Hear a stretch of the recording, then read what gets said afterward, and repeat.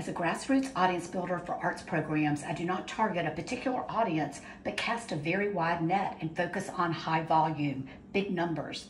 My creative practice is developing and implementing best practices to grow paid and ticketed support for arts programs, and I plan to continue these efforts and engage the local community, both maintaining diversity and growing the numbers attending.